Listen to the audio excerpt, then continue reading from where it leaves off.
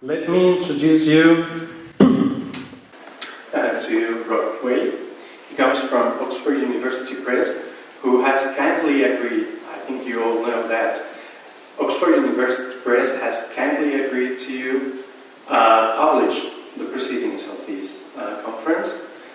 And the, he is going to present uh, the use of technology in publishing uh, he's going to present, I think, several products from Oxford University Press which can be used for the purposes uh, of this we have been discussing all throughout the conference, which is using technology for teaching a language, uh, for teaching and learning languages. So, um, more facts about Robert.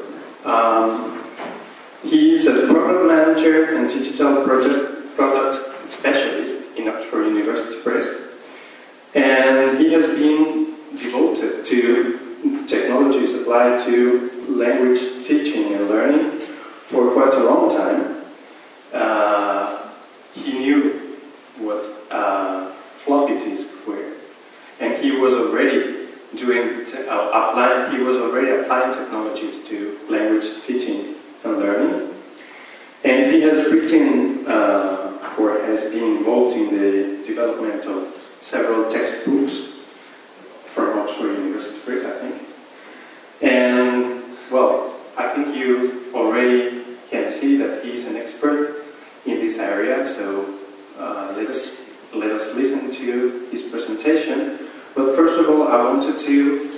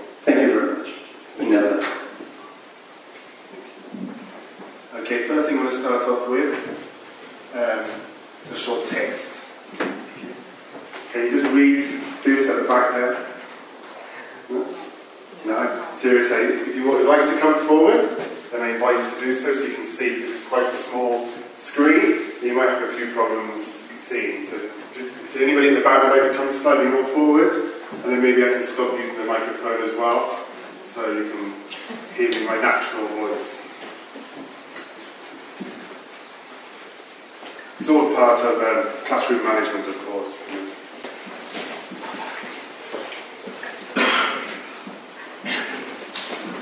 Okay, if I don't use a microphone, can you still hear me? Yeah? Not such a big distance.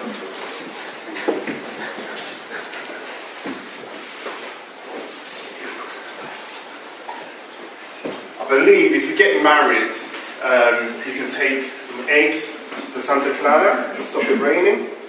If there's anything you can do to stop the technology going wrong, I need that as well today, because I'm going to be swapping between my computer and the iPad. So fingers crossed, then nothing goes wrong, okay? So, firstly I'd like to introduce to you a little bit about Oxford University Press.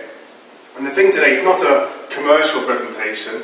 The idea, is just to give you an idea of some of the challenges that we're facing uh, with technology, uh, because it's increasing you know, at a tremendous pace, and we're struggling as a publisher to keep up because we're not, um, you know, we're not a, a, digital company. You know, we're, we're not Microsoft, we're not Apple. You know, so we've got a very traditional past. For, for example, um, Oxford University Press started you know, in 1586, so uh, 430 years ago, and we've been printing on paper ever since. So only in the recent years have we had this digital challenge. Okay. Obviously, printing started off um, with this fashion. Um, in fact, using wine presses to press the grapes, the same technology was used by Gutenberg to produce the first texts. You know, and it's something you know, that has been used until very, very recently. Okay? Now, tablets aren't new. They've been used for many years. And in fact, more or less, when you think this photo is from? 400 years ago? 200 years ago? Maybe 60 or 70 years ago. Yeah, I mean, this, still in the 1950s, this type of tablet was being used until we moved on to the new technology, which was using maybe paper, textbooks, you know, with chalkboards. So a lot of things have changed very rapidly in a very short time. You know? And in fact, just going back you know, 10 years, you know, in the classroom, there was very little technology going on, you know, and there was nothing of tablets, of course. Most people laughed at Steve Jobs when he presented his iPad, you know, the, the big iPhone. Uh, and so it's remarkable to see the changes taking place in the classroom today. For example, when I was at school, this is what I was using. Okay. Anybody recognise that? Now this is called a BBC Micro, which was a computer that had a capacity of 32K, which is smaller than most photos today. Um, this is what's happening today in the classroom, and you see a lot of use of tablets, which has increased in the past two or three years. The amazing thing, really, if I think back, and things that have been said today, is they're a great tool, not just for the sake of having technology, but you can see here there's real collaboration. Um, there's a few schools that I've witnessed in the UK as well that have implemented the use of tablets, uh, and you can see children sitting on the floor, working in corridors, so it's totally changed the way students are working, and they're working together, doing group work. So that's a big change you know, from Victorian times when you're just sitting at your table. And if I, if I remember, probably more due to the fact there wasn't enough money for more computers, but we used to share computers as well. So a lot of the work we did was as a, as a team. And even in schools where they have individual iPads, they're constantly looking at each other's work and sharing work. So that's you know, a positive area within technology. Because what we do have to be aware of sometimes is that some people take on technology in schools just for the sake of it. Or they do it because they, they need more students, because they have to compete against other schools, but they don't really know what they want. So you have to have a clear idea why you want to use technology and what benefit that will give to your schools, for example. Now, it's very simple. Um, the market is very clear with what it wants. It's very easy for us as publishers to produce stuff. I'm being um, sarcastic, of course, because the market is totally fragmented.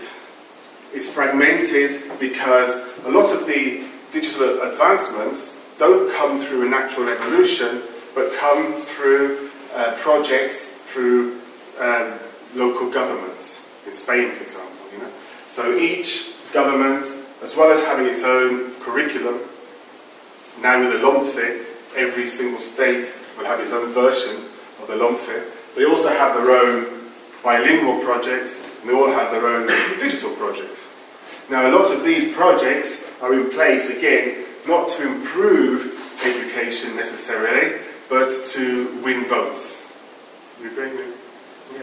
So, some of them don't necessarily make sense and not necessarily beneficial to students. I remember in Galicia, for example, they have a project called Abalar, which was 100% online. Not just 100% digital, but 100% online. Now that's a strange project for uh, an area that's full of mountains and valleys. because only about 50% of schools could possibly have internet connection. So it's a bit, it's a bit difficult at times, you know. And the schools are asking us for our books in pen drives, you know, and, and reality they weren't allowed to have that because it had to be supplied by the central server in the Junta uh, Galicia. So again, we were faced, you know, all the publishers were faced with that dilemma. And again, we don't want, as a publisher, to give our contents, you know, in digital format because they're very dangerous. Know, if we give a book in a digital format, you know, we, we lose it. We don't sell any more, basically. Yeah? So on one hand, for a publisher, you know, it's very dangerous, like the music industry, you know, the, the sort of um, um, video industries, you know, with films and, and movies. It's, it's, you know, it's a great threat because you can distribute freely digital media very easily. So we have to protect that as well, obviously. Um, other areas just have to be 100% digital. Other areas, and even within areas there are differences of course, because some schools decide to take on their own projects, some are not state-run, some are because there are private schools that are competing against other private schools, some are state schools, all got different funding, they haven't all got a very good connection in the schools for internet, some have got a good connection. What is very clear, it's impossible to have all the students in a school connecting at the same time. Because there is no connection on this earth good enough for that. You know, it would cost millions and millions to set up that. So really, very quickly, um, schools realised that they needed um, offline content as well. They needed to work on and offline. So that became sort of a blended need, blended learning. Okay, so that's a, probably the stage we're at at the moment. So there's a blended requirement. Um, again, what are the students using? Some of them are using netbooks. In Andalusia, for example, Junta gave away lots of netbooks, um, which are all broken now, by the way. Um, and so we had to provide content for that. For example, in my company, um, the cost per head for digital support is 1,000 euros a year. So I cost my company 1,000 euros a year just in digital support. That money was not in place within the education. So very quickly, anything that broke just stayed there. You visit schools, they've got their interactive whiteboard in the corner and never been set up because there was no money for a technician to, to set up the board.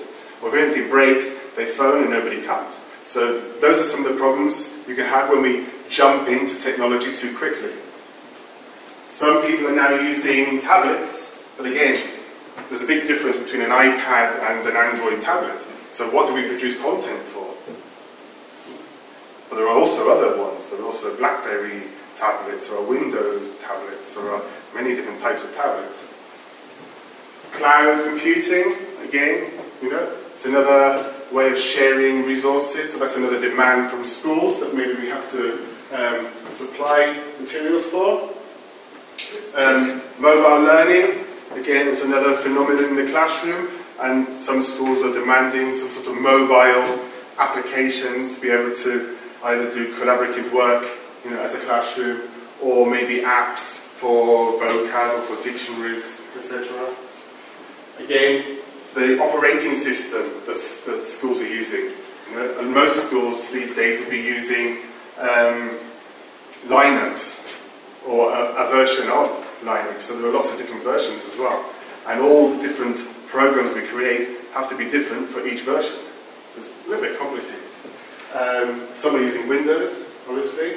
Servers. Some uh, communities have to have all the content supplied through a state server and some through school servers. So they're looking for materials for that server and they can't actually install anything on the computers that belong within that server.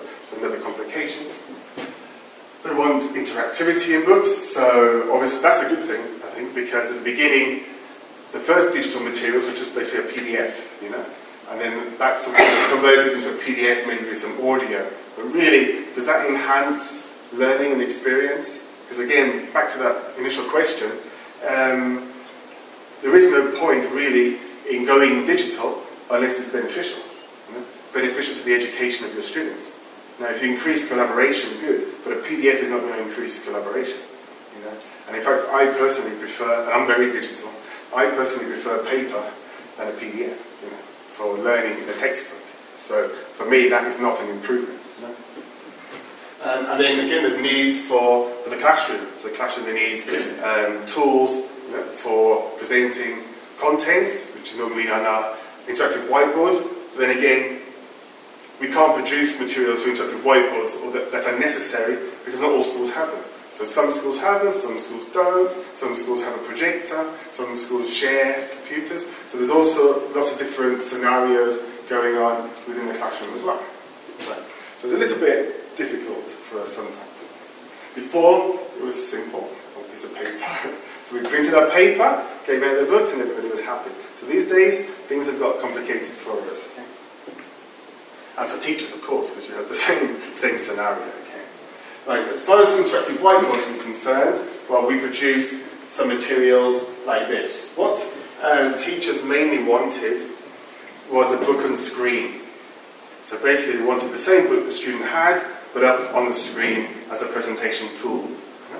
And then the next step after that is to say, okay, I know what's the benefit of that? Well, it's big, because in the olden days, um, with classroom management, you know, to, to get heads up, you know, it was quite difficult because if I've just got a, a book like this, the same as your book, and I'm showing things, you know, it's, it's, you can't really see what I'm showing you. So this enabled me to make it a lot bigger for a start.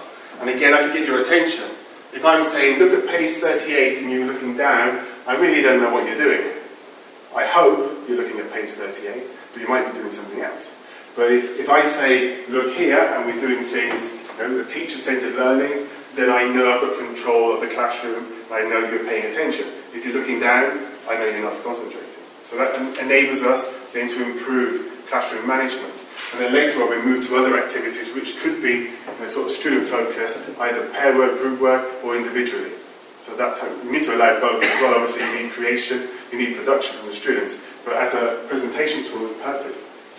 Just to give you a quick idea what they look like, got these links, fingers crossed. Um, and here for example, just a sample, and what we get here is a page, okay? We've embedded sort of answer keys as well, which is, allows us to speed things up. Okay? Another thing that was a bit of a waste of time in a classroom was just writing on the, you know, on the blackboard, because while I'm writing, the, the clock is ticking, so I'm not using you know, the time properly. Uh, and also, if we're getting students to copy stuff, again, that's another waste of time. So this enables us to actually increase the speed of a classroom, get more content done, and make more time for practice. Okay, so that's another benefit of using these tools. I'm sure this is old technology now for most of us. Five years ago, everybody was trembling about the use of these in a classroom. We would do talks in schools, and teachers, oh, I don't want to use that. And these days, most teachers use it perfectly. So, just in five years, there's been a huge change. Okay? just showing a few of the benefits. Okay? Also enables you to put in the videos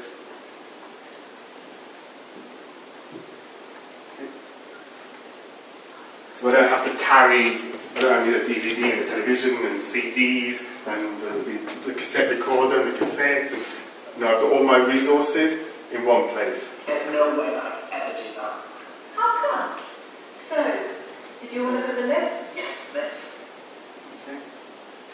And it also enables me, for example, our latest versions, to show subtitles if you want, get rid of them, even have a tape script, and click on it, and go back to that section. Jump to that section. So these are the sort of things that they can allow us to do very quickly, very easily. Just give you an idea. Can I make a question right now? Sure, yeah. Uh, you showed an exercise. Is it visible? Can actually the, the student write over there his, uh, answers to the exercise? On, on, this one, it's actually just a presentation tool. So this is just for interactive whiteboards. But I'll show you later the actual student material mm-hmm. where it's interactive as well, okay? okay. So I want, I'll try to not make it commercial, I'm not trying to sell any books here, but just to show you the ideas of what's available, okay? Mm-hmm. This is our latest one, just to show you, just to give you an idea where we're going. Um, this is a primary one, so we're changing the look. So not so sterile, and it's actually more student focused, more student design, so the look and feel is changing. Okay? So we go into this one, And again, what we've changed a lot here is really our focus on, on the educational systems. So rather than thinking, well, I've got the book that you've got, and now I'm going to decide, okay, let's just go through the book, and now and again I'm going to put on the answers, and I've got an extra activity. Really what we're thinking here, well, this, the sort of the teaching with an interactive whiteboard should be integrated into the, the whole, you know, sort of um, classroom management and, and um, we need to really think about what, the, what steps are involved using the interactive whiteboard. So here you can see we're going from just having a class book with the embedded codes to actually setting up the stages. So we're starting off with presentation. So we're taking advantage of the tool um, to actually create maximum impact. So here, so when we're presenting, presenting vocab, that's the first thing we're going to start before we even open any books. So it really is heads up time.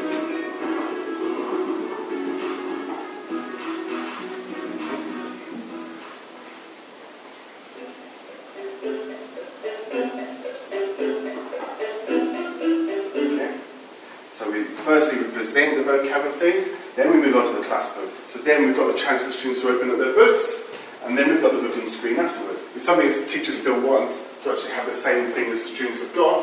So we've got both things here. So we've got presentation tools and we've got the books on screen. Okay. Moving on.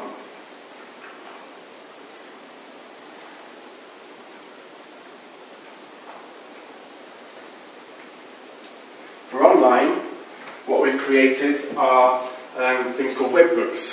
Now, webbooks are totally online, sort of web books, uh, libros web in Spanish. Um, and really, our first phase was we thought, wait a minute, why are we shoving a book into a screen when the shape of a book is the shape it is because it was good for a book? But no screen has the shape of a book. It's, a, it's, it's the other way around. So let's take advantage of the new shape, and what we're going to do is just have the activities and contents with no book.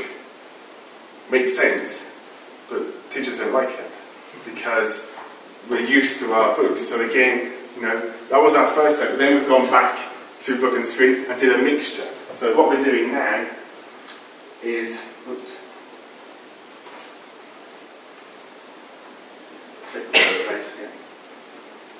got an online version. So what we're doing now is using a book and screen, but then when we click on the activities, having activities in the best format for a computer screen. So we're doing both. So it enables teachers to actually have a reference tool for the students. Say, look, this is page 22. It's the same as your page 22. When I point to the activity here, you go to the same activity. But when I click on it, then it's not like a tiny little screen they can't see. It's then big and it's an interactive activity. I can get students to come up, and drag and drop the answers. So they would come up, you know, and drag and drop the answers within this, example. Yeah? So that's the whole uh, the point now, to have both at the same time. So this is their digital book. And this is a totally online, online um, product, basically. But again, online only can be problematic. It's okay maybe for some schools, it's okay for homework in certain areas. There are other areas where parents, you know, maybe don't have internet connection at home. It's more problematic. There are other areas or schools that do have almost 100% connection, so they can contemplate having, for example, a workbook for homework, you know, with internet access. And then they have this, the grade book, which is basically um, to actually get all the sort of the marks the students are doing, auto correction, and actually have a sort of the database um, to actually um, be able to correct students' work um, from, you know, from, from school, but for things they're doing at home. Um, grade books can be integrated either within this system or into, into the school's own platforms, for example. So it depends on how the school's working. So if the school has its own LMS, they can integrate this into the LMS using codes, which are called marsupial codes, or they can use its own um, grading system, which is part of the book itself. So allows teachers, actually stops a lot of um, extra work because the, the exercises are corrected themselves. So you don't have to spend time correcting the answers because all the sort of yes, no answers or multiple choice answers can be corrected. As long as they're not productive, like writing or, or speaking, they can be corrected automatically. So it's another, another benefit and gives more time to the teacher, of course. But blended, well, what we need to do is get that webbook, but also allow it to be used offline. So that's what we do in something we call Oxford Plus. Now it's a it's a program. Well, it's a pro, it's going to be a program because it's launched this September, but it's it's ready now um, in, my, in our offices. but it's going to be in the market in, in September, and it allows you to use those webbooks offline. And to synchronize the gradebook, you need to connect. Obviously, there needs to be some sort of, sort of connection, but when you can work with the books totally offline, not only in computers and PCs, in Windows, um, Linux, for example, but also on tablets. So you can use them on Android tablets or, or Apple tablet, iPads, basically. Uh, and then you just synchronize with your connection. So that's another way that we can actually provide a solution to this connectivity problem that exists in most schools and most environments. Just give you an idea what that looks like.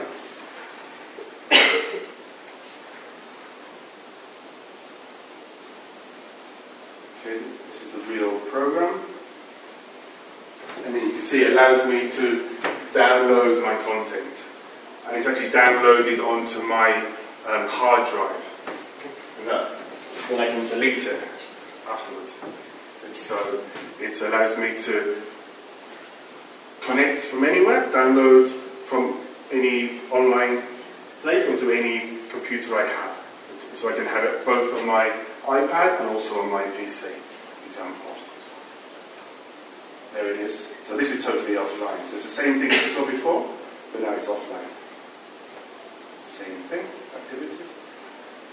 And you see here with a Wi-Fi connection, if I'm connected, it lets me know, so I can actually synchronize all the results.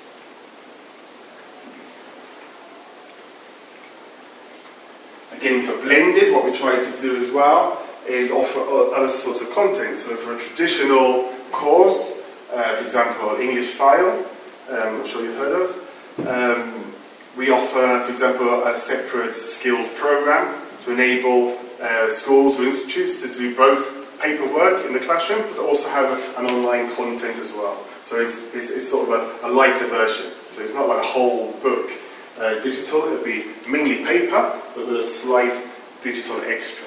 So this would be using our own um, LMS within Oxford um, University Press called Oxford Learn, uh, and it has its own grade books and its own system, but it allows teachers also to add content to it. So you can actually create debates and upload your own documents as well. So that's another, another thing that we're doing to enable sort of blended learning, which I think is probably the way, way to go.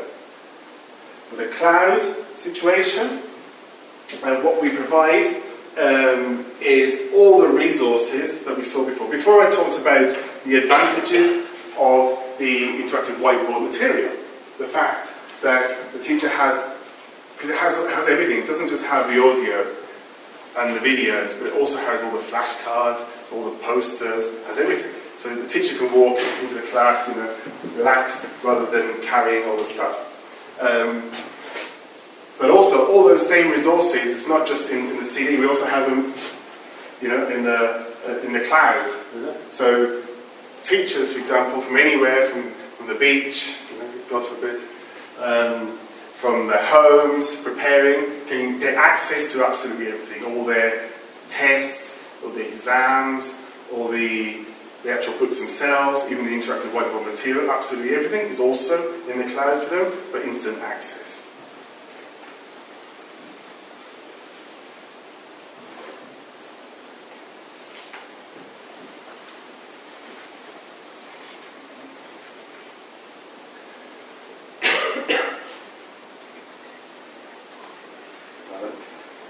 I was not going to work about it, I'm not going to work about it. My first glitch. As far as which operating system we're going to choose, again, what do you do if there are so many? You know, you can't things for, for all of them. So you have to make a decision. So you just have to decide which are the most used. Maybe a couple of years ago, BlackBerry was quite popular. Now, not so much. So our first apps were sort of BlackBerry, um, Android, and also uh, um, iOS for, for iPhones.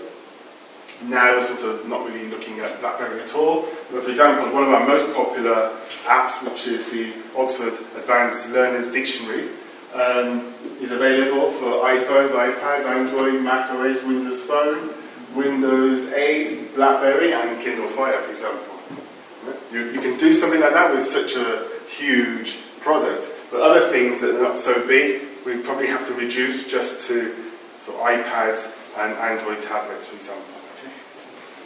Again, it's quite high. It's not just it's not just a matter of changing you know, the code slightly. This is like total new programming. You have to do programming from scratch for each of the different um, operating systems, also for the different sizes. If you've got something for uh, an iPhone, you know you have to rewrite it for an iPad, you know, unless you just want you know, the same format, which is pretty ugly. But if you're going to rewrite it to take advantage of that format, it's a lot of work basically. To give you an idea, that is the format of an iPhone dictionary. So you can actually click and open up the activities and you have the images, for example, in a certain section like that. If you're in an iPad, it's totally different. So you're actually reorganizing everything. So you're thinking from scratch. So you're not just going, well, I'm going to convert that to a different format. You're just thinking, what would be the advantages of that size of 10 inches or 10.1 inches rather than you know, a, a small phone? And they're taking advantage of that size difference. So it's quite complicated. And again, having extras that you can only have at that size. So those are some of the things. And again, when you tilt, you know, the iPad, it changes format, so you have to allow for that as well. So it's a lot, a lot goes into it. And what we're doing at the moment, really for tablets, is uh, sort of created something called the Oxford Learners Bookshelf, which is a really great um, app, even if I say so myself. Uh, and it really takes advantage of learning. So you know, for us, as a publisher, it's quite nice to present this to schools compared to what we had maybe two years ago. So when I go back to saying it really has to be advantageous, it has to be better than paper, I really think this is better than paper. You to give you an idea, um, bit, works a bit like the iBooks from, you know, from Apple Store. You've got a bookshelf, you get your textbooks or your readers or your dictionaries and you collect them in your shelf and then you can open them up and they have many different attributes. Um, rather than showing you the video, I'm going to show you myself. Let's change over. Fingers crossed.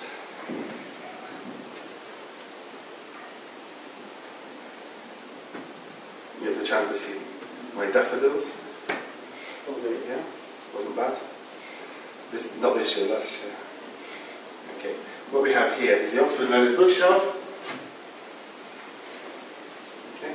And then you have my um, shelf. Okay, I've got English file, and I've got uh, a primary book there as well. If we open up English file, okay, it gives me the possibility of changing the format if I tilt. In this format, I can make a double page. Okay, slide it over. Okay. So, what's better about that than paper? Well, firstly, you can. 1.2. You've got the audios embedded, for example. Nothing too Hi. big at the moment. I'm Mike. What's your name? I can make a loop. Hannah. Hannah. Sorry? Hannah. Hannah. Okay. Hannah. So I can I can loop. Okay. Not much much not much point in looping one name, obviously, but you can loop a sentence and you can practice repeating that sentence, for example. You know, and then you can record yourself. So we've got a recording facility. Wanna try that? Say, Hannah. More or less. Yeah. Say, Hannah. Okay. So I've got my own voice and I can compare. Again, if I find it a bit difficult, I'll get rid of that. Okay. I can speed it up. 2. What's your phone number? It's seven eight nine four. I'm really good. Three two four five six. Most likely, I'm going to have to slow it down. See you on Saturday. Not that much. maybe. Goodbye. Okay, so I've got the ability of increasing the speed, my own listenings, or, or reducing the speed, recording my own voice.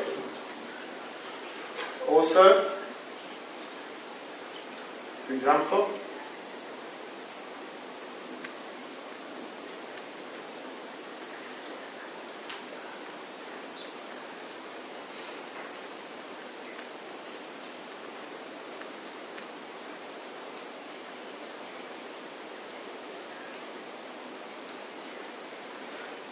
See if I can get my finger right. and just- Make it bigger.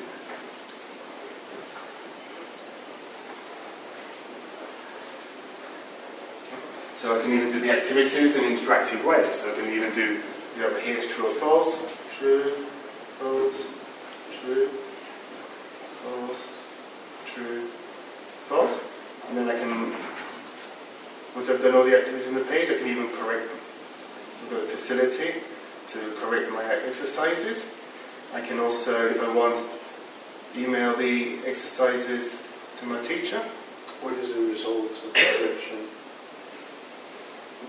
The answer, How, how, how do you display the correction? Well, it doesn't actually give you the right answer because we don't want students to just see the answers and copy them, but it corrects their answers so they can keep on doing it until they get the right answers, basically. I'll, I'll show you, for example, um, in a short one, because this is an adult exercise, it has, I have to do the whole page, and it'll take me too long. But I'll show you in the, child's one, which is much quicker. Okay. Um, and also, allows us, to, allows us to actually search text as well. So there's one great advantage of a digital book. Rather than you know, a paper book, if I'm looking for a certain section, I have to go through every single page. You know? Here I can just quickly look up you know, the, the entry, for example, um, New York, is that what I'm supposed to write? And I get the exact point when New York appears. I click on it, and then it takes me to that section. Now, also I have the ability to, and this, this is a demo, so I've only got five pages, so it's, it won't take me to page 67 because it doesn't exist here. But here, for example, I can actually ch- choose the pages just by clicking on them. So some advantages, as well as the other things you can do with PDF, which is obviously writing on them.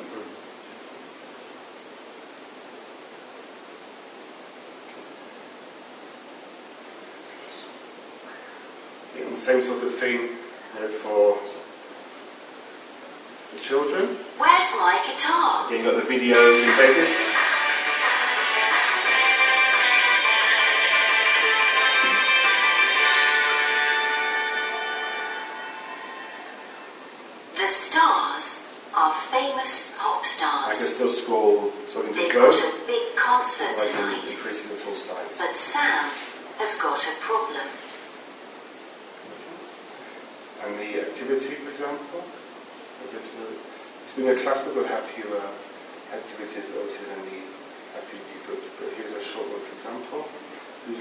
Wig?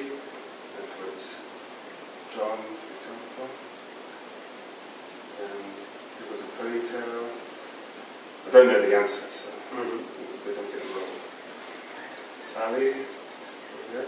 and then I can correct them, and I see I got them all wrong. Okay, so I have to do it again. Correct. There we go. Now, well, how are we doing for time? Well, actually, This is where stop here. Okay, great. No, you, you can show it. Uh, just yet another example if you want. Then we can. Okay. Rather than show you any more then, I'll just, I'll just quickly finish off. Just to say as well, you can also just collaborate with, as a school as well, if you want to have a hand in making your own books, uh, with things like the iBooks Author, um, which enables you create your own books for your schools. Again, you might want to supplement materials that you had you know, in the classrooms. You might want to do both. So a- again, a great way to experiment.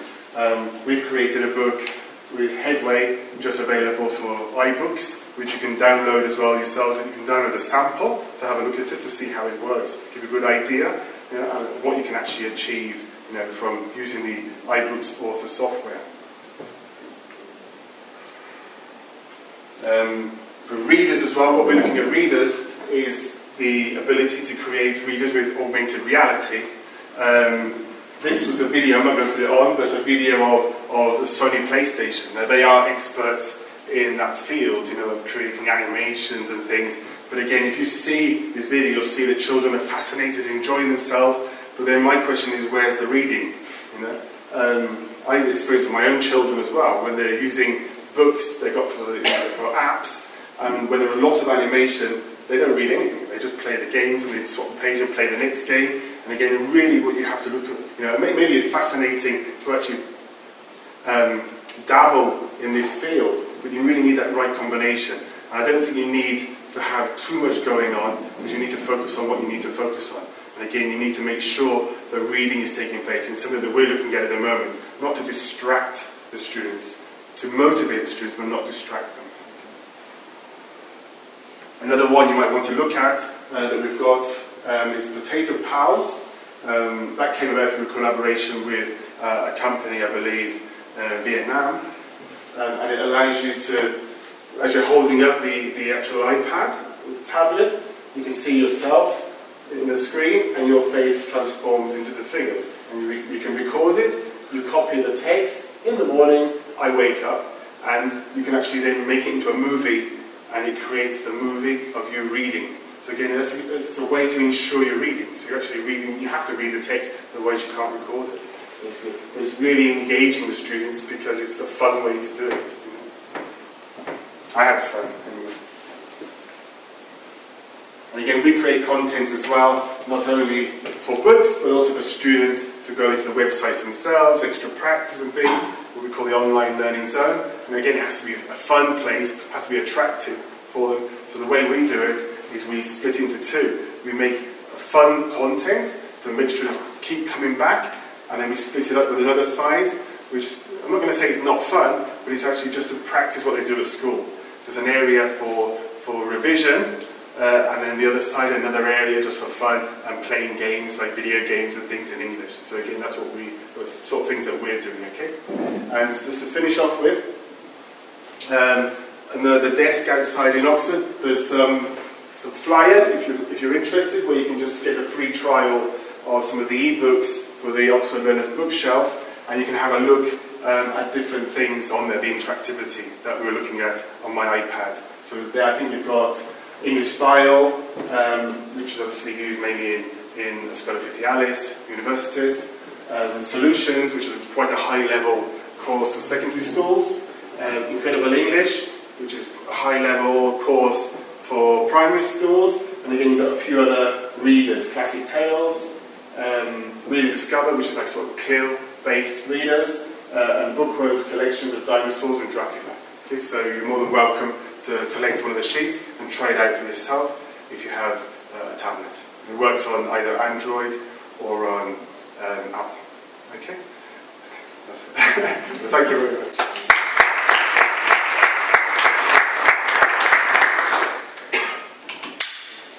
Okay, so time for questions. Uh, I have heard some people uh, talking a little bit and commenting, so maybe you, it's the time for you to express that in voice. They were women, I know that. The voices would come from over there. Yep.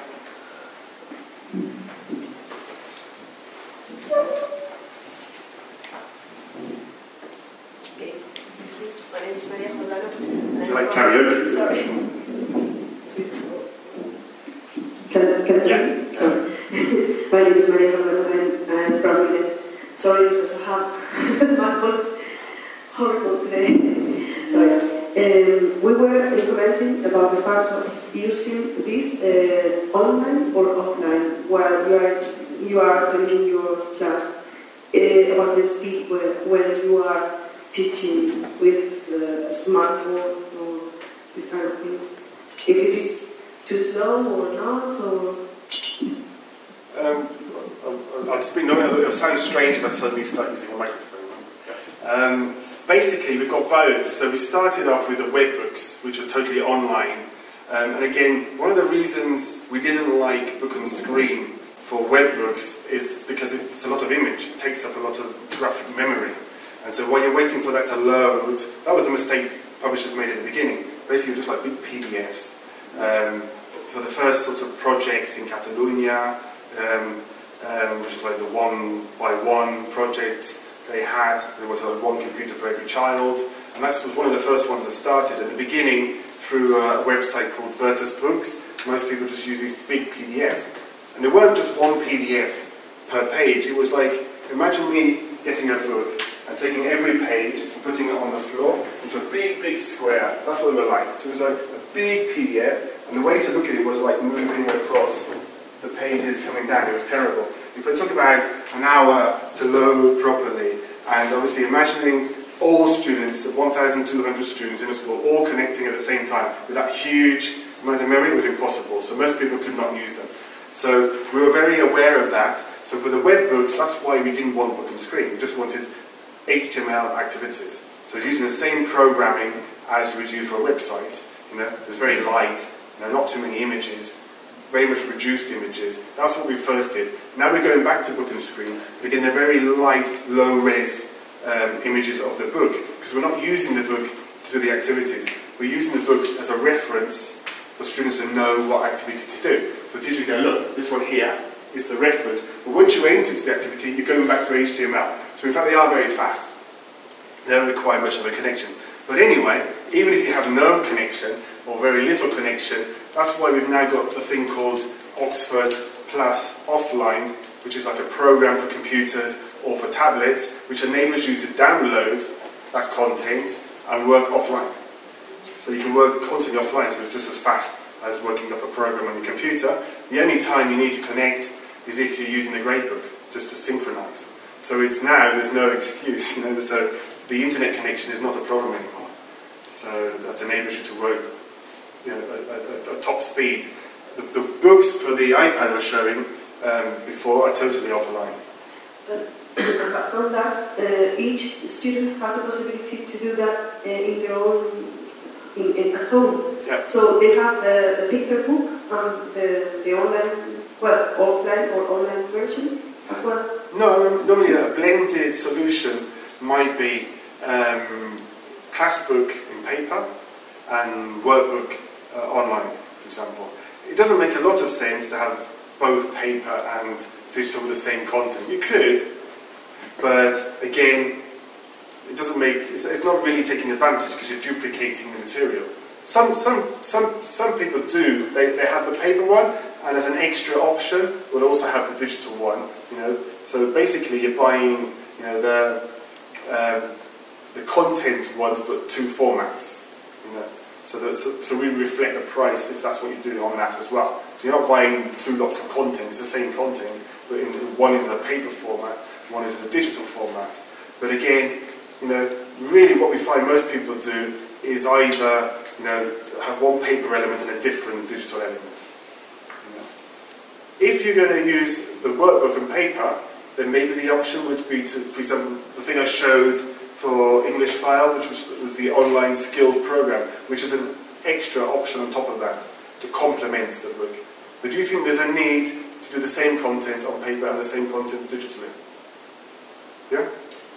It depends. For example, I see that for young children, for primary, even secondary, digital teenagers or digital kids, but I don't see that with adults because they want paper because you know, they, they, you see, being on the screen all the time, too uncomfortable for them. Yeah. That's my opinion. Um, no, definitely that's been the way at the moment because the digital market at the moment is probably about 4% of the entire paper market. So it's still quite small. So, but things are changing. Over there. Is it time for a question? Yeah, sure. How, how well do your apps place together? How well do those fit? For example, if I'm using one of your, if I've bought one of your books and I've bought the Oxford Learners um, Dictionary, and they're both on my Android phone, for example, and I want to look up a word in the book that I bought, will it, can I send that to the Oxford Learners Dictionary seamlessly from uh, Depends on the on the format of the app. So some of the apps have the dictionary integrated into them anyway, because you wouldn't need both apps.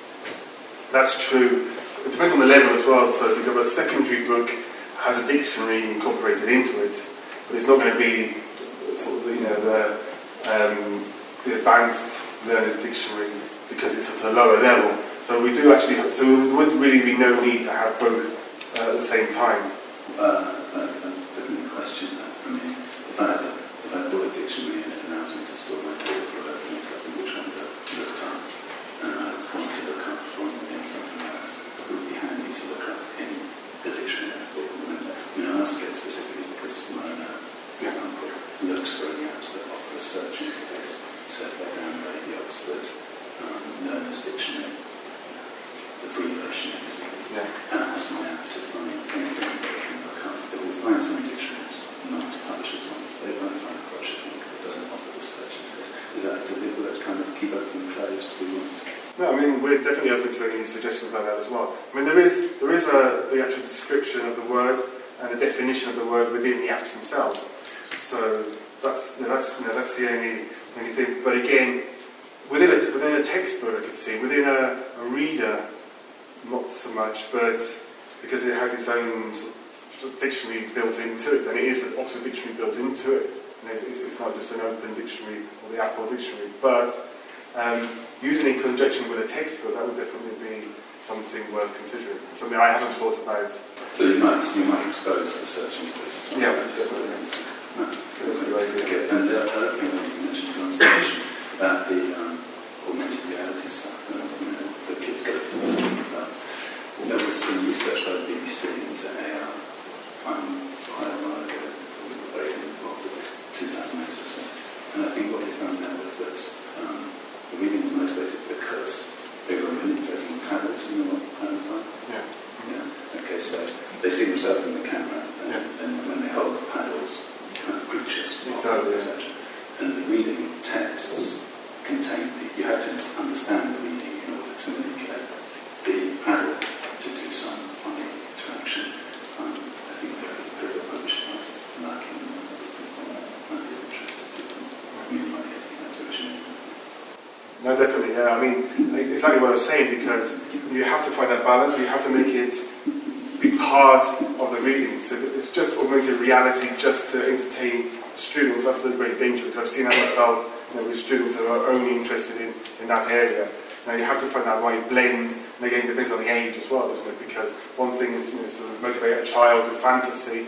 Another thing is when you move on to adults, then really you need to also uh, stimulate or develop uh, imagination. You know, so don't want to replace uh, a book or a novel with a film. You know, it's, okay, you, need to find that right blend, you know, to complement.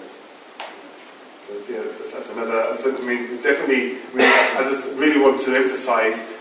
You know, we're, we're not Sony. You know, we're, we're paper printers, and uh, and this is you know this is like a huge challenge you know, to us and to most publishers. So, you know, we're really at the moment looking for any ideas or any information and any collaboration as well.